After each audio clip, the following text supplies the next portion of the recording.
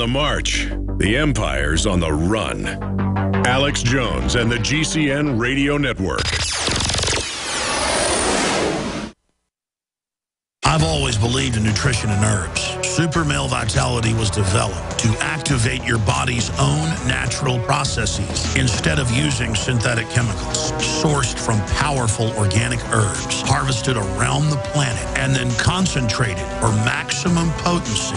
I just received my Male Vitality about three days ago, and I must say that is good stuff. After consulting top doctors, nutritionists, pharmacists, and others, we have developed what I believe is the ultimate non-GMO organic Super Male Vitality formula. Super Male Vitality by InfoWars Life is so powerful that I only take half the recommended dose. I jump out of bed ready to fight these criminals every day. I, I look forward to waking up and, and, taking my Super Male Vitality and getting the day started. It's not just the Super Male Vitality. All the products at InfoWarsLife.com are simply amazing. Visit InfoWarsLife.com today to secure your Super Male Vitality and other powerful products from InfoWars Life.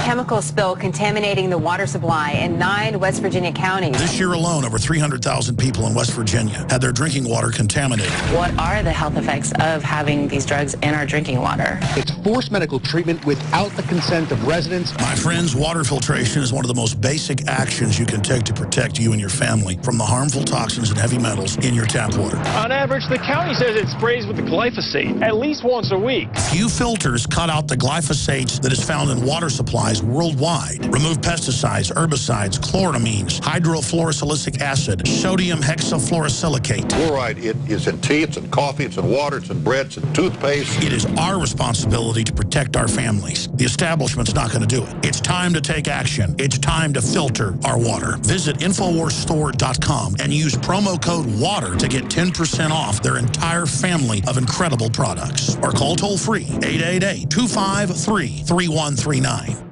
I began to get into iodine a few years ago because it was helping me and my family so much get healthy and detoxify. Most people know that iodine deficiency has been a crisis around the world. Iodine is key to so many of the body's functions, especially the thyroid. I discovered a product being developed by Dr. Group.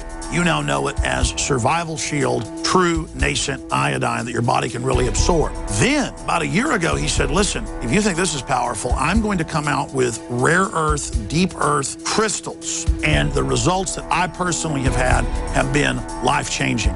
Nobody else has got iodine based on these pure crystals, ladies and gentlemen. This is innovating, and the best part is it helps fund Infowars.com, the radio show, the TV show, the whole media operation promoting true libertarian ideas. For a limited time, experience the ancient power of Survival Shield X2. Take advantage of this unprecedented 30% off super detox special at InfoWarsLife.com.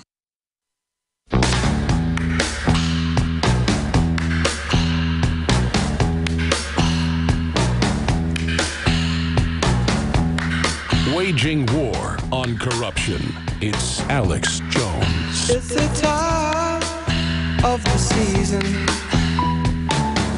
when love runs high in this time. Welcome back to the Alex Jones Show. I'm David Knight. I have Dr. Stanley Monteith on the line. Before we go back to him, I just want to remind you that we have a special at InfoWarsLife.com.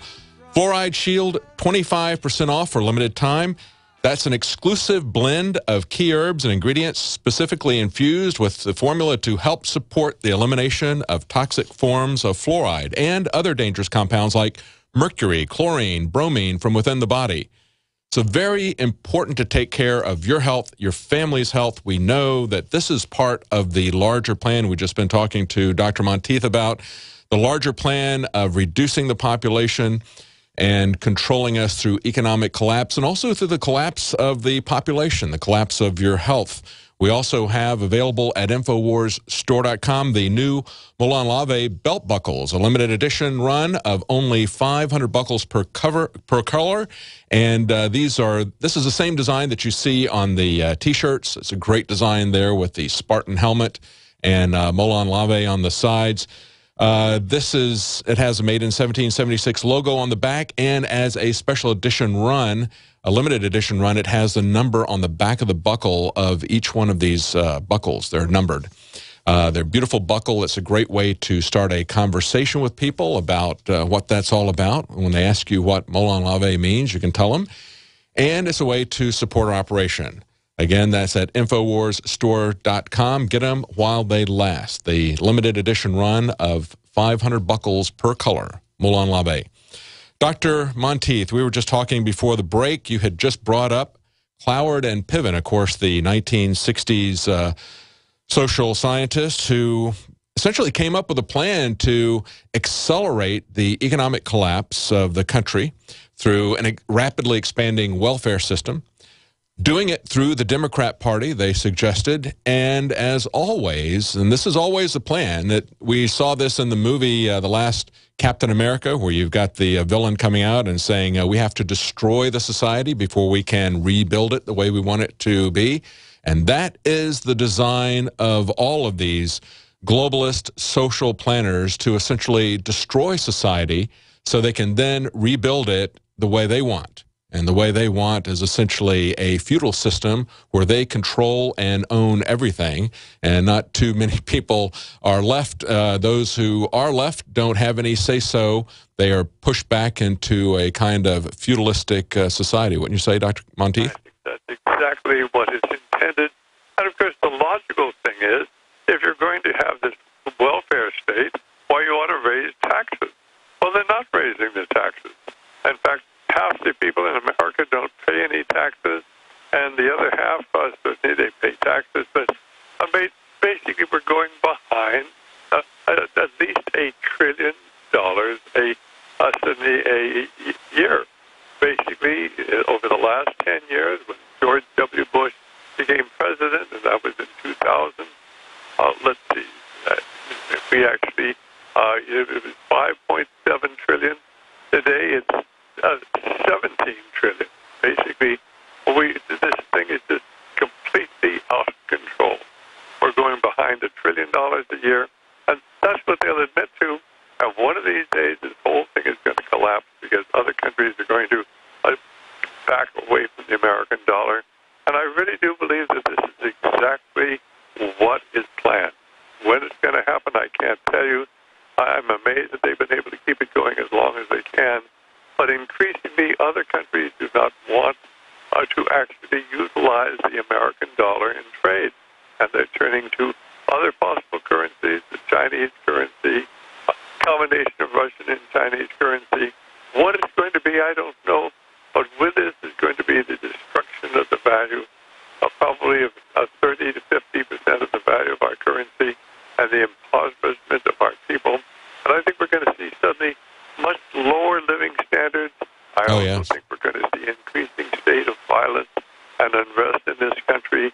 And in one manner or another, I do really believe they're going to create social unrest and violence. And I really fear this. Uh, and we're bringing all of these young children in. Why? Because it appeals to me who can be against children? Who mm-hmm. can be against helping uh, women with a little uh, two-year-old children who want a better life? Well, if we don't stop the invasion of our country, this country is going to be destroyed. And the thing is, you know, Doctor, going right along with it. Dr. Monteith, it was just this weekend that Nancy Pelosi said, I, I just wish I could take all these children home with me. Well, there's a reason that she can't take them home with her. She couldn't take care of all those children. And we can't take care of all the world's poor children. Collapsing the border is going to collapse our country.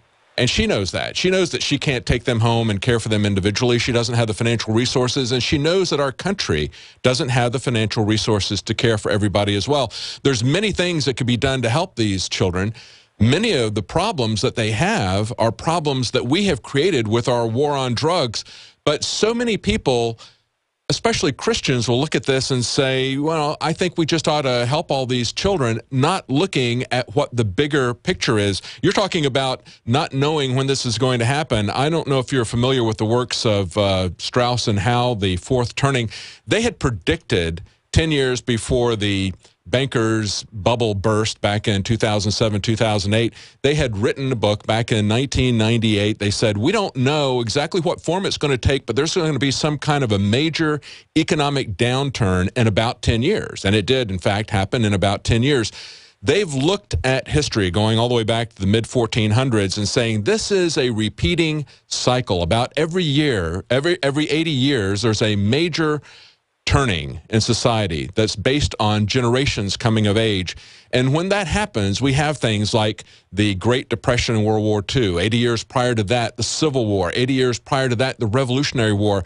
They're looking at something happening about 2020, 2025, and I think it's very telling that all of these projections that you see coming from the government, they're all about that time. And when I looked at this article that came up uh, yesterday about Fairfax County kindergarten classes, that 40% of those children couldn't speak English, and they started talking about it about the class of 2026. I think it's very telling that they're bringing in a lot of children that don't have any cultural connection to America, don't have any background, and trying to separate them from their families so they can be raised by the state. And it's very hard to get to those young children that are being educated by the state that speak a different language. It's very hard to get to them and get them to understand the foundation and the importance of individual liberty. I think this is Obama's Youth Corps that's being brought in right now for the events that are going to take place in about five to 10 years. What do you think? Well, I think it's happening much sooner than that. Yes. I think if you talk to the young people who are graduating uh, from high school today, uh, they, they have no loyalty to America. They have no loyalty to They're globalists. People do not understand the purpose of our education is to uh, destroy the belief in America of our youth. And they don't understand freedom. Uh, they honestly believe that we need an all-powerful state to provide for the people who want to be wonderful. Uh, so I think that this is going on right now. I don't think we have to worry about the future. I think it's going on today. Yes. And an increasing number of young people today uh, are now atheists thanks to our schools. An increasing number of people, young people, are globalist thanks to our schools. And heaven help us. You had mentioned earlier this has been a plan going back to uh, uh, Babylonian times. Uh, we've seen it written in detail, as you mentioned, in Plato's Republic, where he said he wanted children to be raised by the state, even taking it to the extreme of saying that he didn't want any children in his ideal republic to even know who their parents were. So they had no loyalty to anything other than the state. It's always been the dream of dictators to educate children to keep them under their control. We've heard so many times from so many different, uh, it's been attributed to so many different dictators, to Hitler, to Stalin, but they all know that if you get a child very early in life and you train them, they're yours for life. And of course, that's what the Hitler Youth were about. I believe that's what Obama's FEMA Corps is about, his uh, Youth Corps.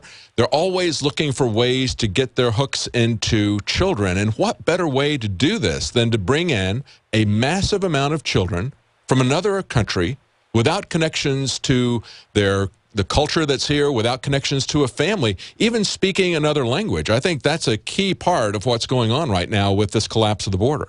Yes, but they're doing it and also with the English speaking children. Yes. And mm-hmm. basically the yes. parents don't have any idea, as they don't have a chance to talk to their children about how they really feel or how they really believe.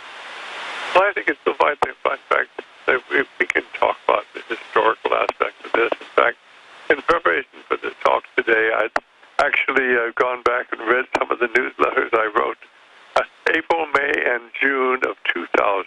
April, May, and June of 2000. We're talking about, what, 14 years ago. But going back into the whole ideas of Plato, people must understand that Plato was part and parcel of this, just as his predecessor, mm-hmm. Socrates, and